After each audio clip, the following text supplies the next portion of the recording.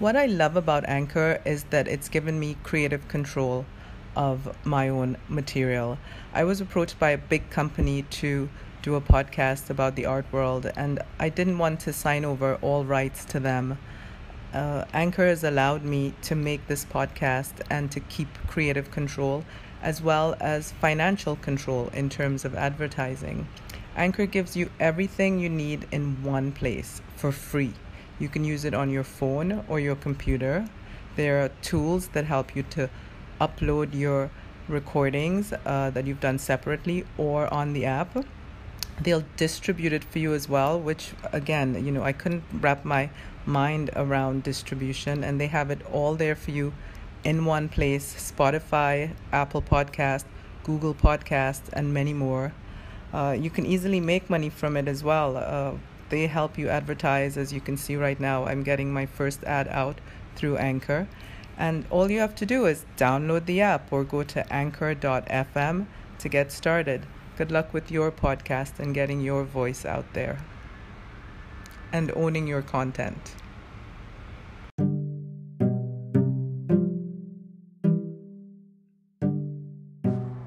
Welcome back to another episode of the Beez and Honey podcast. Today we'll be speaking with Armenian artist Arshak Sarkissian. I've known Ar- Arshak for quite a number of years, and we've had the good luck of being in the same city at the same time.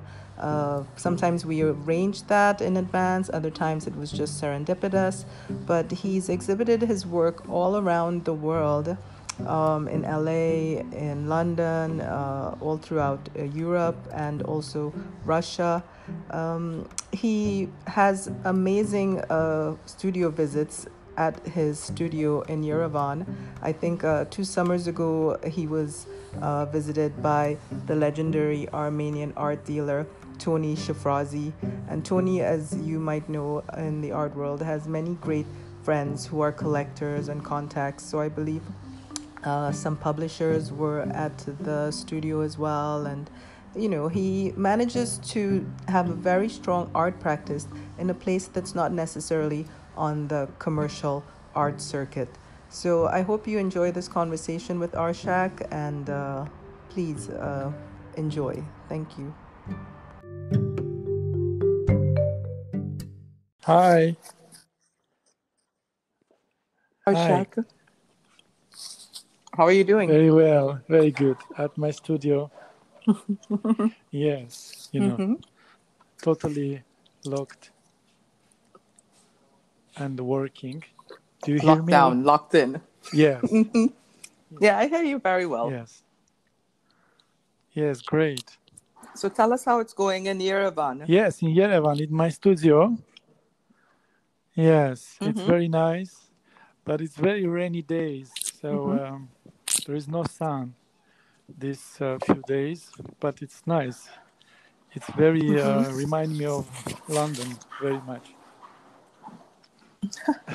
right. Well, you know they say April showers. April showers bring May flowers. So normally it's raining in April, and then in May we have some flowers. Yes, yes, yes. Yes, that's right. So tell me, uh, mm-hmm. Tell me uh, a little bit about your history as an artist. Tell me how you started, how did you grow up, about your mother, your dad's influence on your growth as an artist. Yes. Well, yes, I obviously I, I growing up in an artist family and my father was an artist and he is an artist now and working and um, till now. And uh, my mother was an actress. She was an actress.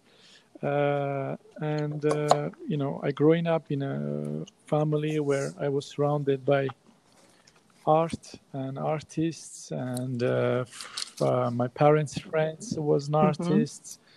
And uh, it was always all about art. And, as, you know, since I was a young man, I was drawing and painting and mm-hmm. sculpting you know um, it just like a you know a normal child you know when you do when you're a kid uh, you know mm-hmm. you, you play with clay and uh, you want to draw but uh, it was mm-hmm. it was lots of uh, you know nice um, beautiful atmosphere. I was, you know, I was surrounded by uh, art all the time, and yes, it sounds like a, a great childhood. Yes, yes, yes, very much. Yes, I think so. Yes, I'm lucky.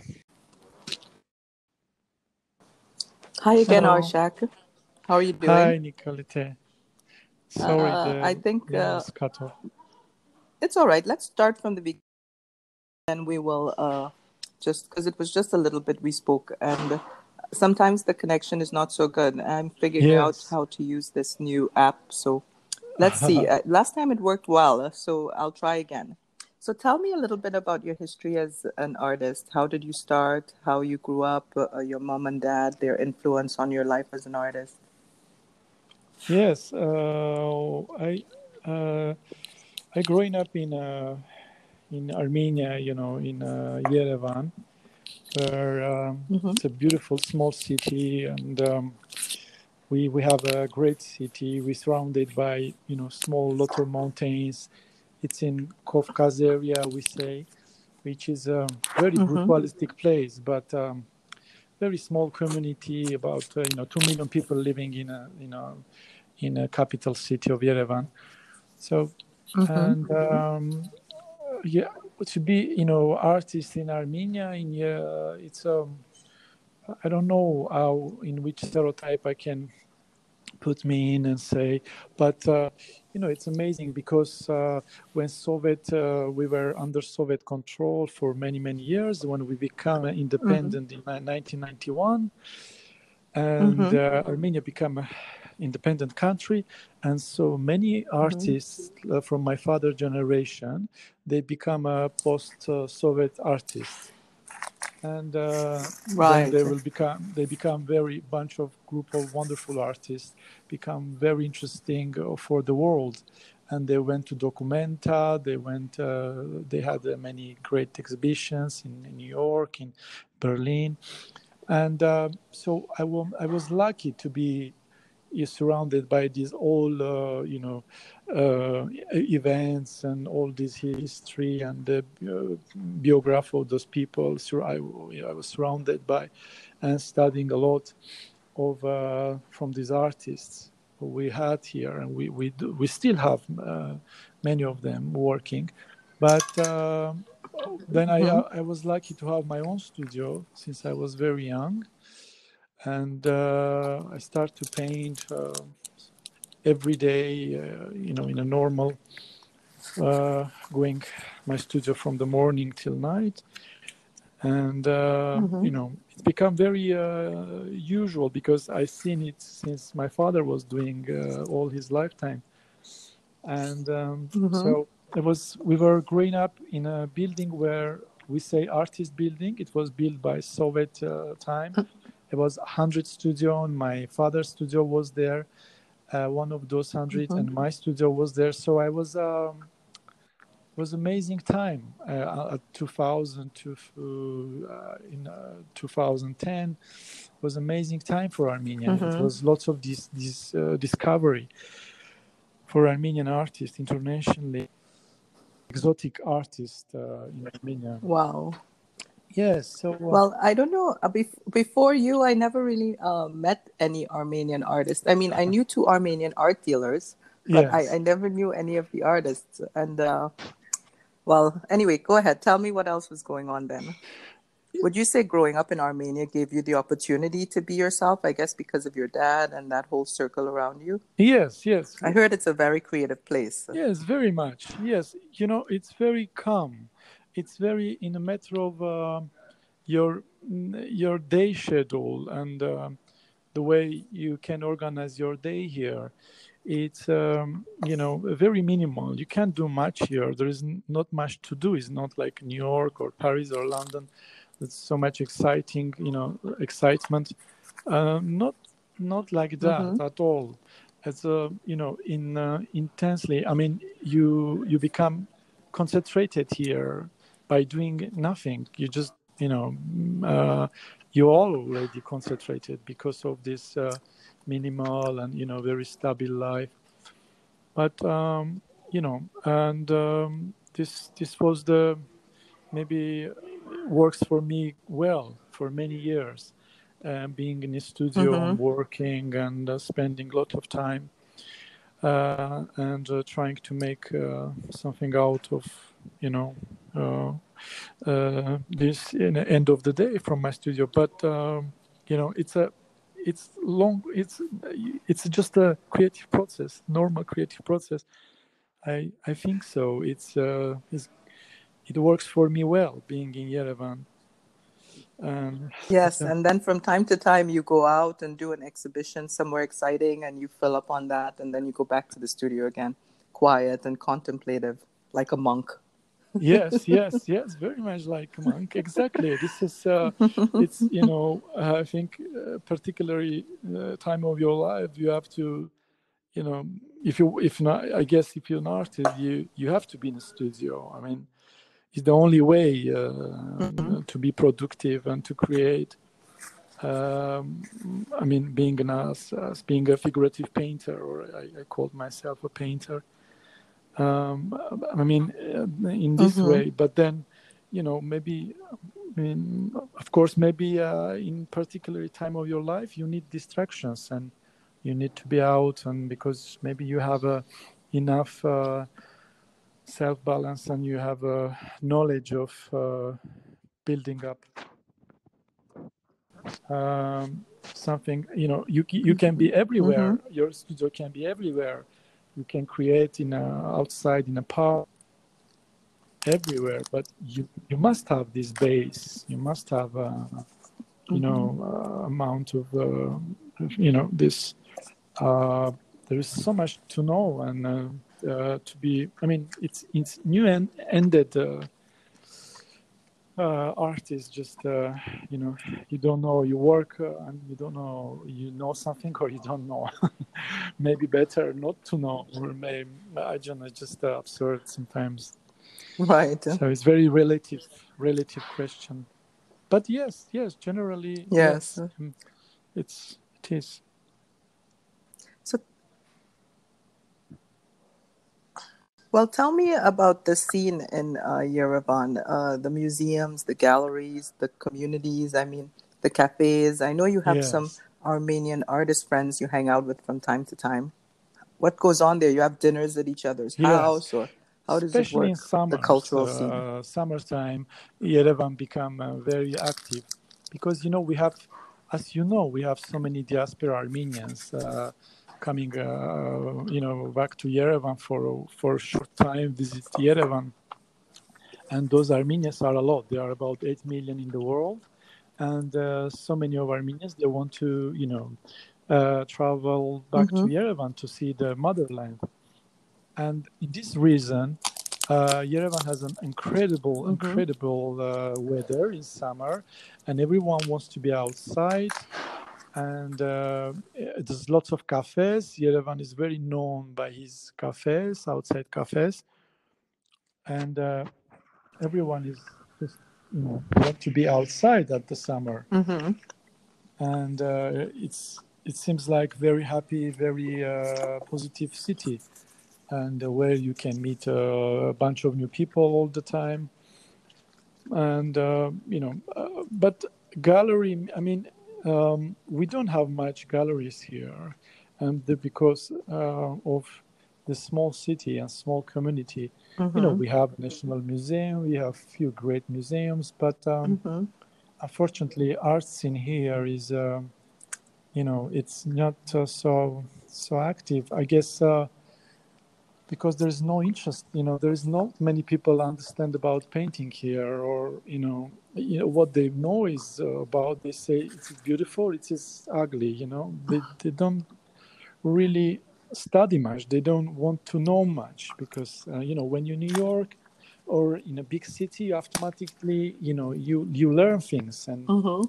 uh, but here they don't have the stereotype of the um, something that they can compare with and uh, i guess this is my opinion but we have amazing street museum like we have these famous italian sculptors very known and very uh, big big sculptures outside uh, in the Mhm. street where people you know get know these names and i mean Mhm. it's a you know, we we're going to have uh, hopefully the first Armenian Biennale here, Yerevan Biennale, Mm-hmm. which will happen.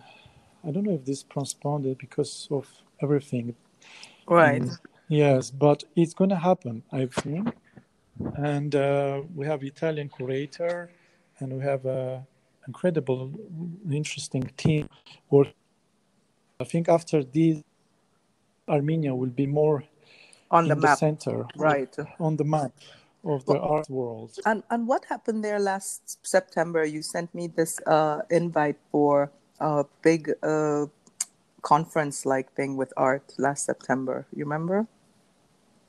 Uh, conference A big in Yerevan. in Yerevan, yeah. A bunch of people were coming for exhibitions and stuff like that last September. Yes, yeah, yeah. What it was a it was a, it, big art fair, Mm-hmm. an international art fair. Armenia was uh, in Yerevan, Mm-hmm. and many galleries, you know, from all of the world, Mhm. and they were um, they had a small space in this huge building, and um, there's a all Armenian galleries and uh, local and uh, neighborhoods like Georgia. And I mean, it was amazing, uh, amazing uh, art fair. And this year, actually, they were preparing to do us. Uh, and I heard uh, of you know good galleries from London. They were coming over here for this art fair, but in September again. But uh, again, uh, I mean, because of this uh, Coronavirus. coronavirus, everything Mhm. is just uh, you know stoned. Uh, Yes. yeah. So, what are you currently working on in your studio? Uh, at the moment, I work. Uh, I do. I do one big painting, finishing one big big painting. I mean, and another one small one, and uh, and sculpture. Also, I do sculpture. So I Mhm. work on one sculpture that I thought is finished, but uh, you know, finally, I want to uh, rebuild from the sculpture Mhm. something else. So I'm working for more than three three uh, paint two painting, one sculpture, and and also I work for middle of finishing one drawing. Mm-hmm. So I'm trying to keep myself creative in these And- day, days. And th- and this was stuff that was uh, supposed to be in the exhibition in Rome in May. Uh, with uh, uh, regarding the Rome uh, in May, uh, is everything is ready. And the list of the work is ready, and Mm-hmm. it's different. No, it's different work It's different work. Okay. Yeah, they are packed, uh, ready to be shipped, Mm-hmm. but uh, but because of again this uh, Mm-hmm. Pandemic. pandemic, uh, we we don't know. But my I, my exhibition, my first exhibition, Mm-hmm. which going to um, happen in Rome, in the Museum of Baroque, Mm-hmm. Uh, known as Palazzo Chigi. Mm-hmm. Uh, so it's it's will uh, I I believe it will be June or July. We don't know yet because of uh, we don't know. I mean, all events as Mm-hmm. they expose as my one. So, but uh, it's it's on the track. So it's, That's good. Yes, I hope uh, that will happen. And how do you see the art world in general? Uh, I think I know how it's affecting you in the short term, but how do you think it will affect the art world in general in the future? Did you think about that at all? Uh, the coronavirus. Mm-hmm. Or yeah, yeah. Yes. Or anything. How how anything will change after all of this lockdown? Not even the virus, but just the whole lockdown. Yes, I think um, uh, it's it's a, this is very uh, serious um, issue. You know, I mean, I I am you know when um when you see yourself as the world uh, uh, paralyzed Mm-hmm. and you know as a one body, it's a you know one mind, Mm-hmm. and uh, it's it's up. I mean, it's a horrible. It's very bizarre, horrible situation, but uh, if you look from the other side, it's everyone is doing a one one uh, thing. You know, they stay at home, and uh, they think they all think about one issue, and they all um, uh, are in a one uh, you know drama in a one uh, uh, beat. Uh, yes, one plot, one part. Yeah. Yes, and the yeah. world is one body, and mm-hmm. Uh, at the moment it's just a very unique, very unusual, very unique uh, situation for the world, and I think you know many people will just you know pass this and maybe in the future as something uh, what they will remember. But as unfortunately many people will uh, suffer and will they will um, you know uh, take this uh, pain with them mm-hmm. after uh, coronavirus in mm-hmm. matter of uh, financial mm-hmm. and physical and mental mm-hmm. but i mean um, you know artists are they are relatively, I mean, they are more lucky because they have to be at studio and create. Mm-hmm. At uh, being as a real artist, you know that you don't you don't paint for money, mm-hmm. and you paint because you want to paint and you have something to do, mm-hmm. and uh, you do it, and uh, and then the rest will come. But um, the people are doing business, and of course, um, they they're going to have a difficult times. But I, I, always think if there is a big light, if there is a big shade, uh, there is a big light somewhere. Yeah. And, uh, yes. That's a good point. Yes, I think um, uh, you know many. This is a good lesson. I think for it's a very powerful lesson, very painful lesson for mm-hmm. the world. Mm-hmm. And um, but I don't know why for reason, but it's it's a disaster, of course. But um, I already heard so many friends of mine living in Europe on how they um, suffering from this, and uh, they all, uh, you know, there's a panic, and uh, many artists. Uh, I see this in Instagram. They do art regarding this coronavirus, which I don't like.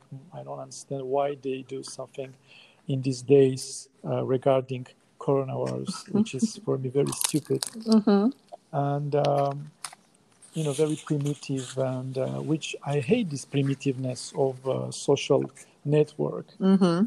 which sarcasm sometimes you don't know if the sarcasm is real you know if you you know it is not that sarcasm that you would hear from the jung or you know from sigmund freud but mm-hmm. just uh, something stupid. I don't know. I'm just very disappointed from this social media. Well yeah. And i think uh, this is will make worse if people will uh, you know study and i mean they will keep eye on the time this social network. There's just too much negativity and but maybe this will influence badly for art Yes, uh, that that yes. that's a good point. Yes. I mean, I you know I really believe, and this is why I don't like the idea of that creation creation or whatever you said about people making this coronavirus art. I really believe the creative process shapes our reality. All our thoughts, all our actions, all our paintings, all our movies, all our books. That's why it's really important what we're creating because we literally yes. are making it. Yes, Yes, anyway. it's true. It's very true. Yes, and I mean, we'll see. We'll see. We'll just, I guess, we don't know what's how it's going to end, but mm-hmm. I hope we all hope this will end soon and everyone will come back in a normal life again. Yes. Well, whatever normal yes. means at that time. and uh, yeah. right. Well, well, tell me about the um, Venice Biennale. I know your dad was there a few years ago uh, represented yes. in a pavilion. And yes. do you do you think you will have some opportunity in the future to have your work there as well? I don't know how it works in terms of the political spectrum yes. of art curation in Yerevan, but what do you think? Yes, actually, yes, my father is is, is right. My father was. Uh, yeah, exhibiting. I mean, you know, was in uh, representing Armenia in uh, 2013. I think in 55th of the Biennale. Mm-hmm. In Venice, in his work was, you know, viewed at the Saint Lazare and mm-hmm. uh, maybe a few different direction, uh, location in Venice. It was, mm-hmm. uh, I think, uh, yes, that was a wonderful. He had that, ex- you know, he, he, was part of the Venice Biennale. Uh, myself, we we were trying um, last year. I mean, you know, year before about um, uh, putting uh, my work in a biennale with curators, and unfortunately, we had a. I mean, maybe fortunately, I don't know, but we had a big political changes in Armenia. We will say, you know, we say we become democratic country now. We have the new government and uh, new leader, mm-hmm. and uh, because of this, uh, at that time, the government uh, sent a group of artists were working for the um, political view. They had the political works, and uh, regarding this our um, big uh, uh, re- revolution, mm-hmm. what they called they did here. Uh, Velvet Revolution. Mm-hmm. So this was viewed at the Venice Biennale which was absolutely propaganda for from the Armenian government. Right. In, in my uh, opinion, mm-hmm. I don't. I mean, I don't judge, but I mean, this is what it is. Mm-hmm. And um, so, our uh, work here was uh, felt regarding. Yes. No, but but we, I I work with the Italian curator. Um, uh, she's Italian French curator, Dominique Laurent, and mm-hmm. we we work together with another Italian curator. So we're trying, we'll see if uh, this will work. Um, and because uh, last year I went to the Quarta Biennale, uh, maybe you remember, in Praga. I was uh, Quarta Biennale. It was a Biennale for the costumes, uh, for the sculpt, three-dimensional sculptures. It was a, it's a, you know, in Prague. Mm-hmm in Prague. So I was uh, participating, uh, presenting uh, Armenia. Ah. And uh, yes, this was very interesting for me. And uh, maybe, uh, yes, something similar, which I was, I had at the time in Prague, my works. And maybe similar style of presentation, right? Yeah, it's a sculpture, three-dimensional sculpture. There is a, it's a moving sculpture, huge, made from the textile, mm-hmm. and um, um, yeah, it's something like uh, I will call them uh, monsters. yes. Yeah, well, uh, that's what I like. I mean, a lot of your work is uh, quite fantastical, and uh, the combination of the human with the animal. I mean, it goes back, I think, way back in our history as uh, creative beings that we had this combination of iconography and in yes. our art and in our religion you know in, in our yeah mythology maybe very much and um, yes it starts from you know greek uh, greeks they used to say the mask in greek uh, means uh, persona you know personality mm-hmm. and it's very interesting in these days that uh, thinking about mask mm-hmm. which means persona mm-hmm. well yes the routines are uh, few coming from the you know ancient times and which I'm I study a lot, but at the same time, what I do is it's about contemporary man. About I always think that the monster is the definition of the human being, mm-hmm. and uh, I. You know, I call some people monster and they get very mad and very sad. I said, Why are you so sad? I'm complimenting you. Monster is a, such a wonderful thing. you know, I think I, I think if you look at it from just a purely Western uh, standpoint, then people think the monster is a scary thing, something from their childhood or something. Yes, but, yes. But I agree with in the East, some of the monsters that appear in the art, the scary ones, are the benevolent ones. Yes. And they're scary to keep the evil away. Yes, that's very interesting. But also, I, I think about the you know the the, the person the human being can mm-hmm. be you know when you see a naked person as figurative painters they paint uh, bodies mm-hmm. uh, i mm-hmm. think for me is a wonderful you know i mean is a genius painter forever it's uh, Lucian Freud who was mm-hmm. painting mm-hmm. the body as the mm-hmm. monster and the skin of the body was uh, you know it's like elephant skin but you don't know you say i mean it's beautiful or ugly but it's just a monster it's a another dimension of the beauty, maybe the form of the body. Mm-hmm. And um, relatively, what I think about, I think about the person with the dress. Mm-hmm. The I make the dress uh, real the, in life. mm-hmm. and um, this is uh, maybe thing that you know I think about a lot, uh, you know, all the time to make it more real, to make it more uh, something that in life or uh, you know it's you don't see uh, usual you, you can't see it as because it's um, you know maybe a time and uh, this personality the biography of that person will make him himself as uh, he is at the moment because of this uh, past uh, makes him uh, his uh, life makes him strong or beautiful or colorful or scary mm-hmm. there's a myth, myth there is something you, can't explain Right. Yeah, so it's uh, something like that. All right. Well, I left the last question to be something personal. I don't know if there's something more you want to add uh, before we end. Mm-hmm. Is there anything else you wanted to say that I didn't uh, bring up? Uh, no, I think, yeah, wonderful conversation. All right, I will uh, let you know when this episode will air, and you know we should have these conversations more, not just for the podcast. We can check on each other every now and again. Yes, with pleasure, Nicoletta. Yeah. You know, I'm. It's always pleasure to hear you. Great. I, well, I, always I miss these intellectual conversations. yeah, well, we have to we have to we have to um, we have to check the time zones and uh, coordinate. We, yeah. Yes, yes, that's very yes, very true. Anyways, well, hopefully see you soon in Italy uh, for your exhibition. Uh, hopefully this summer, yes. knock on wood, in Rome. It'll be much hotter than May, but I think we'll survive will be wonderful uh, to see you in Rome.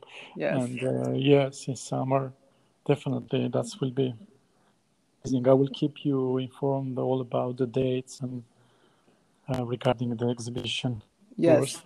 Okay. Thank you so much. Yes. Take care. Wonderful conversation. Yes. evening and take care of yourself and uh, keep me posted about the art. Yes. Thank okay. you so much, Nicollette. All Thanks. the best. Bye, Arshak.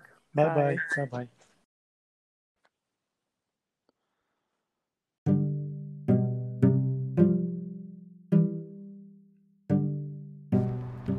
Thank you. I hope you enjoyed this episode with Armenian artist Arshak Sarkissian.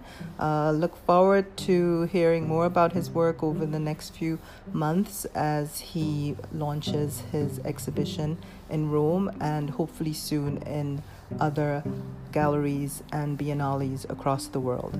Have a great week and take care. Bye.